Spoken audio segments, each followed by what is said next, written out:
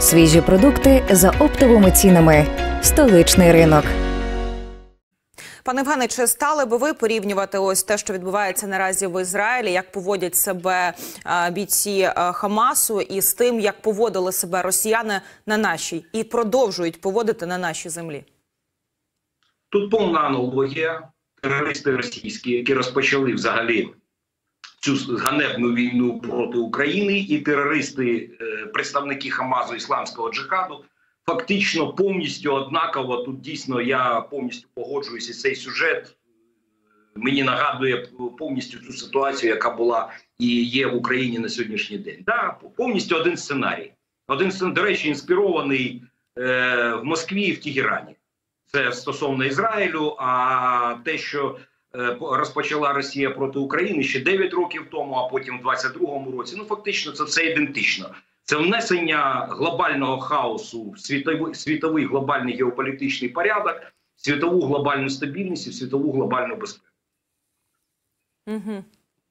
Пане Євгене, за Нью-Йорк Таймс пише, що напад Хамасу на Ізраїль був несподіванкою не лише для Ізраїлю, але й для Сполучених Штатів Америки. В той же час е, точаться розмови, що Сполучені Штати Америки виділять допомогу для е, Ізраїлю. Ось Блінкен каже, що США можуть уже сьогодні голосити додаткову допомогу Ізраїлю.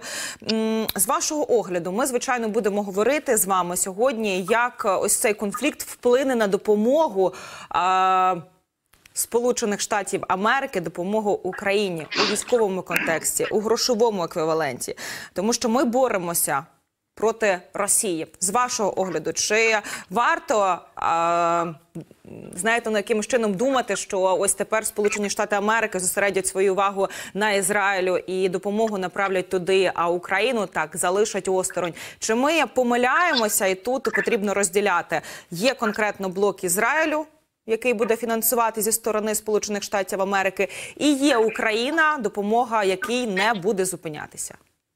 От я з вами повністю погоджуюсь. Ви все правильно розділили, і треба заспокоїти наших глядачів. І, взагалі, Ізраїль і допомога Ізраїлю це одна ситуація, Україна це інша ситуація. Ми повинні констатувати, що у Сполучених Штатів і Ізраїля є двостороння угода про гарантії безпеки Сполучених Штатів як головного партнера поза НАТО, яка гарантує певні чіткі безпекові фактори, які гарантуються Сполученими Штатами Ізраїлю. Такі ж угоди укладені не тільки з Ізраїлем, такі угоди укладені з Єгиптом, з Південною Кореєю, Новою Зеландією, Тайванем і так далі, які дійсно передбачають військово-технічну, фінансову, економічну, дипломатичну допомогу і іншу.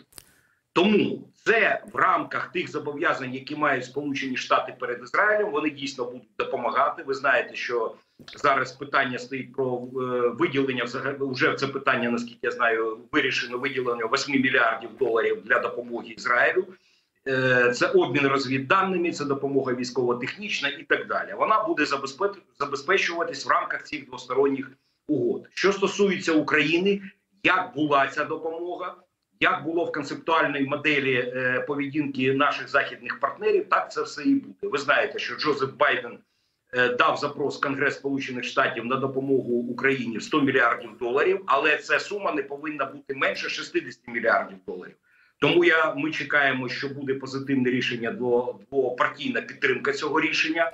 Яка сума зараз ми не скажемо, але вона не буде менше ніж 60 мільярдів доларів. Тобто, ці два дві речі не пов'язані, і до речі, це один з тих факторів, які хотіли добитися і Росія як головний бенефіціар цих сьогоднішньої ситуації на близькому сході, і Іран відволікти увагу світової спільноти, в першу чергу Сполучених Штатів, від тих подій, які є, і від тієї війни кровавої в Україні. Це перше, а друге по можливості зменшити допомогу або взагалі її нівелювати від Сполучених Штатів і західних партнерів. Цього не буде. Дійсно, на сьогоднішній день оця е, вимога щодо не вимога, а, цей варіант, який стосується е, відволікання уваги, да, дійсно він спрацював, тому що сьогодні всі світові засоби масової інформації, перші шпальта повністю присвячені Ізраїлю і тій війні, яка сьогодні там є. Да, Україна відійшла на другий план, але е, те, що допомога і повна підтримка західного світу Україні буде зберігатися, це 100%. Тому тут не треба за це переживати. З головним питанням, яке турбує кожного українця, ми розібралися. Дякую вам, пане Євгене, що так детально все прояснили. Давайте тепер розбиратися у причинах виникнення конфлікту. На близькому сході кому вигідна війна, як ви вважаєте, і хто стоїть за так званим радикальним палестинським угрупуванням Хамас?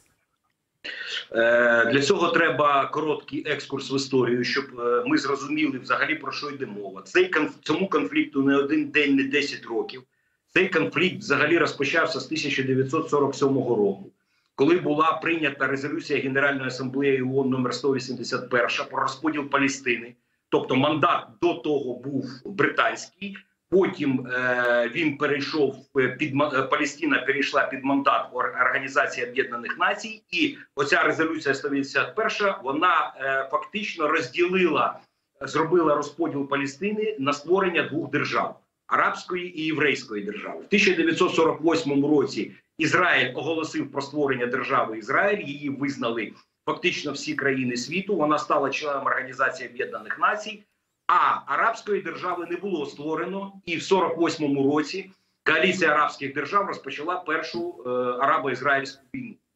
Далі це було е, шестиденна війна 67-го року. Потім, потім це була війна 73-го року, війна судного дня. Потім це були кемдевідські угоди е, мирні між Єгиптом і Ізраїлем, коли прем'єр-міністр Ізраїлю Мінахім Бігін і е, президент е, Єгипту Анвар Садат при посередництві Джиммі Картера, президента Сполучених Штатів, підписали мирну угоду. І перша арабська країна, яка визнала Ізраїль, була Єгипет, і вона отримала назад Сінай, який був окупований Ізраїлем. Далі це була війна Ліванська 82-го року. Потім це була перша інтіфада 87-го 93-го року, Палестинська інтіфада, перше повстання.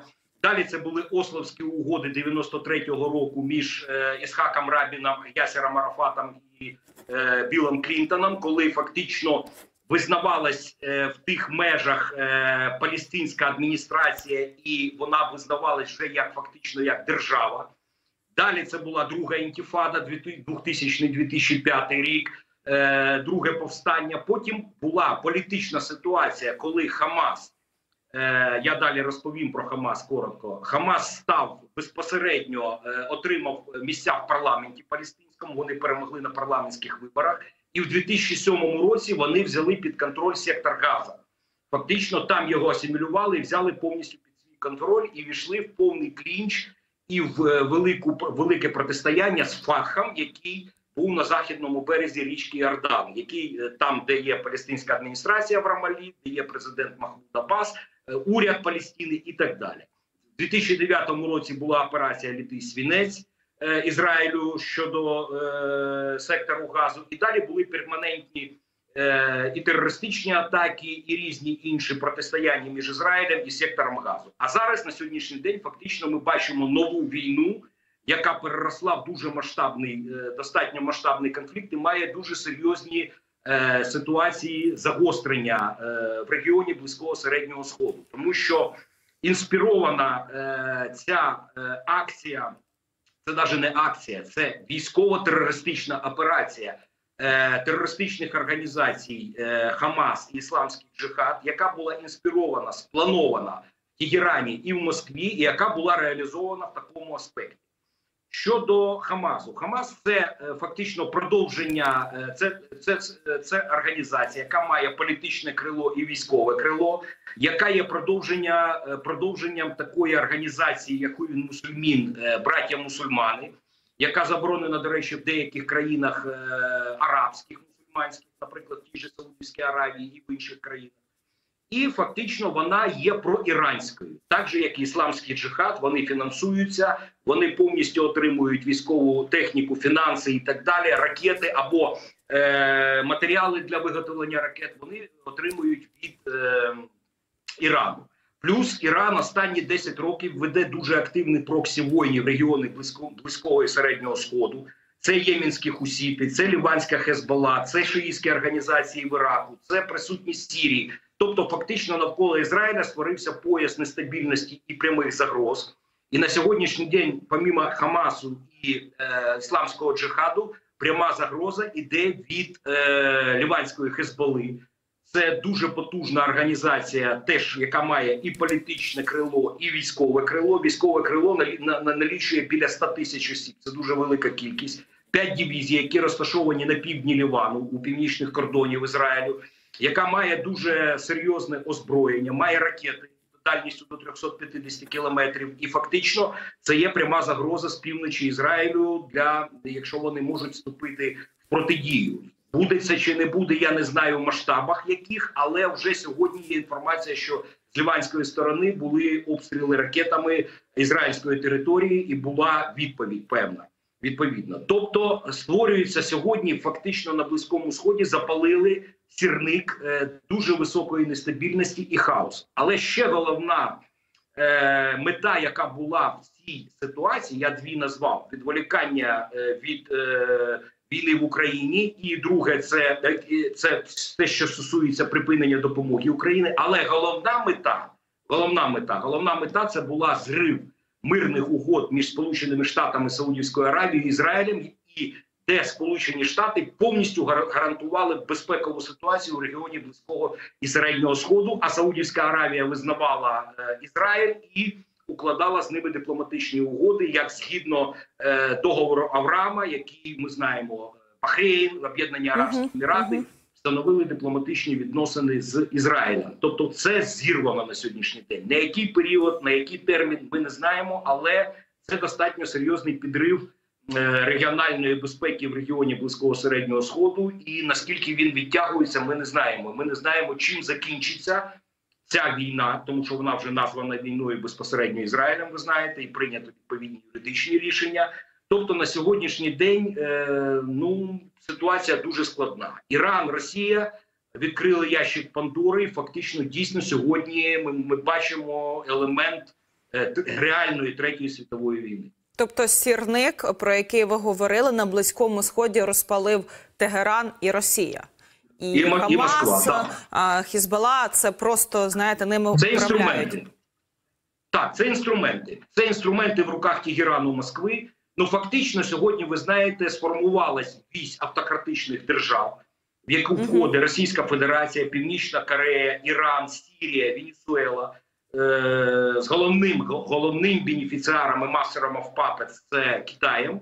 Але ж, от е, в цій, цій ситуації створення глобального геополітичного хаосу дійсно два головних гравця це Росія і Іран, які фактично головні е, вигодоздобувачі.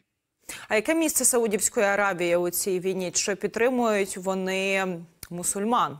По суті, Так, своїх людей, які для них ближні за вірою.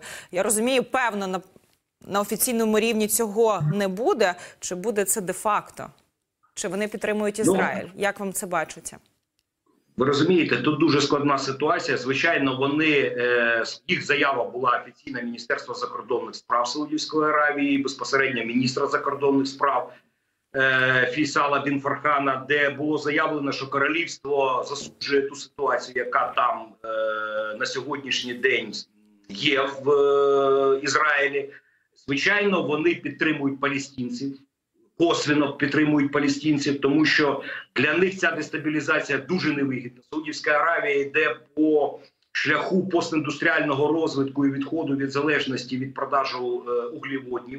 Це факт. Вони розвивають зараз дуже серйозно цифрові технології. Вони розвивають дуже серйозно постіндустріальний розвиток.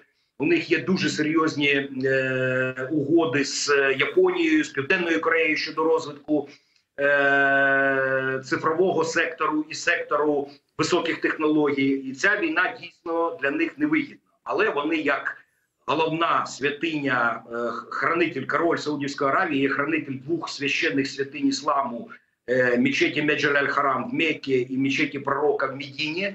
І звичайно, е, вони підтримують палестинців, вони підтримують людей по своїй вірі. Хоча вони засуджують взагалі те, що там є. І звичайно, е, тут складна ситуація Саудівської Аравії. Саудівська Аравія лідер регіону, Саудівська Аравія лідер арабського ісламського світу. Зараз буде скликано скликано вже Ліга Арабських держав, на якій буде обговорена ця ситуація. Е, Я звичайно сподіваюся, що е, конструктив буде знайдений. Саудівська Аравія прекрасно розуміє, що та мирна угода, яку вони заключили при посередництві Китаю з Іраном, вона є фактично ну недовготривалою, тому що Іран і Саудівська Аравія після ісламської революції в Ірані дійсно вони були конкурентними, і це проти протистояння і по релігійним деяким факторам, і по лідерству в регіоні дійсно зберігається і до цього часу. І небезпека від Ірану до цього час, часу зберігається і для Саудівської Аравії, тому що удари з Ірану були по Саудівській Аравії, по Об'єднаним Арабським Еміратам. Війна в Ємені, Хусіти, які повністю підтримувалися Іраном, теж це була пряма загроза Саудівській Аравії. Тут дуже складна ситуація. Яка буде поведінка Саудівської Аравії? Їх позиція? Е, ну тут, тут ми повинні вважати на те, що це все таки центр ісламського мусульманського світу. Ви нас так вели трішки в історію, екскурс історичний е, зробили. І пане Євгене, ви розповідали про різні періоди, так коли було загострення, коли була ситуація більш-менш стабільною. І багато аналітиків. Чому саме ось сталося загострення 7 жовтня, пов'язують із загостренням конфлікту у 1973 році війною судного дня. Ви пов'язуєте між собою ось ці дати? Чому саме зараз, а наприклад, там не через місяць? Чи це якісь інші політичні причини на це були? Звичайно, фактор сакралізації цієї дати 6 жовтня 1973 року, початок е, війни судного дня, коли е, Сірія і Єгипет атакували Ізраїль. Дійсно для них є це якраз 50 років виповнюється цій даті. Плюс Шабат, який був в Ізраїлі в цей період е, суботу, да, воно дійсно все співпало, і як такий е- сакральний механізм для них вони її назвали е- свою операцію відповідним відповідною назвою. Тому да, дійсно воно є тут присутньо. Присутня, і ну я вам скажу, що ця операція готувалась дуже довго. Вона готувалась достатньо певний час. Вона була дуже засекречена. Тому ізраїльські спецслужби фактично вперше от так пропустили цю ситуацію з е, періоду 1973 року. І дійсно, це ну я думаю, не допрацювала агентурна система розвідки е, Ізраїлю. Ну тут тут вони хай розбираються вже внутрі країни. Я думаю, вони розберуться і е, зрозуміють, чому така ситуація виникла. Угу. Є вже велика війна між е, Україною і Росією, яку розв'язала Росія. Є війна загострення такого конфлікту, е, якого ще не було там за останні 50 років, які ми з вами обговорювали, пане Євгене, між Ізраїлем і Палестиною. Чи потягне світ третю війну війну на Тайвані? Ну я вас розумію прекрасно. Е, Фактично, на сьогоднішній день близький схід став таким форпостом. Е, Хаос, який почався з України, глобальний геополітичний, який розв'язала Росія. Зараз він продовжується в регіоні близького середнього сходу. Е, Буде буде все залежати від того, яка ситуація буде в регіоні близького середнього сходу. Я думаю, Китай зараз не піде на пряме протистояння південно-китайському морі в Тайванській протоці, тому що вони прекрасно розуміють, що наслідки будуть катастрофічними. Да, будуть вони і для Сполучених Штатів важкими, і втрати будуть важкими. Але для Китаю це буде катастрофа, тому що фактично в цій в цьому протистоянні Китай програє. Е, тому я не думаю, що зараз зараз можливе е, можлива ситуація з військовою операцією Китаю проти Тайваню. Хоча єдина ситуація, при якій я це завжди казав, при якій Китай може піти на пряму військову е, операцію, це якщо Тайвань визнає незалежність. Ну на сьогоднішній день цих підстав нема. Е, Сполучені Штати визнають е, один Китай, дві системи. Раз у них є закон прийнятий в 1979 році про Тайвань, в якому прописані всі механізми е, співпраці і так далі. І я думаю, що навряд чи Сполучені Штати допустять, щоб сьогодні було, було таке загострення. Хоча діалог зараз ведеться між Китаєм і Сполученими Штатами, обмін є обмін візитами. Е, можливо, буде візит Сі Цзіньпіня до Вашингтона, до Сполучених Штатів. Поки що важко сказати, але можливо буде. І все-таки для Китаю важливо було б е, зберегти стосунки з Європейським Союзом і Сполученими Штатами, тому що на сьогоднішній день у Китаї дуже великі е, економічні проблеми, велика великі питання, які є з е, зовнішніми економічними справами, з логістичними шляхами і так далі. І величезні ринки для Китаю сьогодні це і Сполучені Штати, Євросоюз. Взагалі це 1 трильйон 600 мільярдів доларів. І звичайно, втрачати це і йти на конфронтацію, а потім досягти розвалу Китаю. Це ну верніше не розвалу Китаю, а повної дестабілізації Китаю, економічного спаду і е, військового програшу. Я думаю, на сьогоднішній день Китай не піде на це. Угу. Пане Євгене, зрозуміло. А от якщо повертатися до війни на близькому сході, як ви вважаєте, хто хто стане посередником розв'язання, врегулювання? Тому що е, е, Ізраїль відкинув Китай як переговорника. Вони припускають, що переговорником може стати виключно Америка. Ну, є квартет. Дивіться, є квартет е- близькосхідний, який Мгм. діє в- для врегулювання палестино-ізраїльського конфлікту. Це е, Сполучені Штати, Російська Федерація, Європейський Союз, Організація Об'єднаних Націй, плюс Єгипет. Звичайно, чи спрацює цей квартет і як віднесеться Ізраїль до того, що в квартеті є Росія, я не знаю зараз. Це треба буде подивитись. Але цей квартет існує. і Я думаю, він достатньо дієвий. І зараз, до речі, Єгипет прикладає максимально зусиль е, і веде переговори з тим же Хамазом, щоб звільнили заручників. Е, м, він веде е, постійні перемовини із Європейським Союзом, і з арабськими країнами, і так далі. Міністр закордонних спра- справ Аль-Шукрі і президент Єгипту Абдель Фатаха Сісі. Вони фактично постійно ведуть е, перемовини з західним світом і з арабськими країнами щодо можливого врегулювання цієї ситуації. Я думаю, що оцей варіант можливий. Я думаю, що було б це завжди е, це питання піднімало, щоб долучити, долучити до цього квартету Саудівську Аравію.